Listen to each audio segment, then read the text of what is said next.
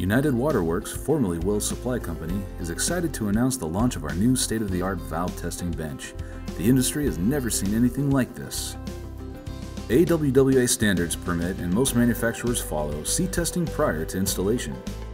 By pre-testing your butterfly valves, you can put your mind at ease and avoid unwanted labor costs and project delays caused by unnecessary valve problems. Our new valve testing technology is a cost-effective tool for districts throughout California. The valve test stand is designed to perform hydrostatic testing on butterfly valves from 12 to 36 inches in both 150 pound and 250 pound classes.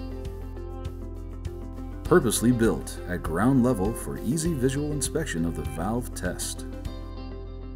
Its built-in water reservoir with a closed-loop recovery system makes this unit a truly portable tester that can be taken to a job site. Testing at UWW is preferred. Ready to get started? Our staff of over 50 of the best trained, most experienced professionals in the industry are ready to guide you to the right solution for your valve testing needs. As a partner to customers, United Waterworks is committed to saving customers time while coming up with the best solutions to solve their problems, and ultimately saving them money. This new valve test stand accomplishes all of that.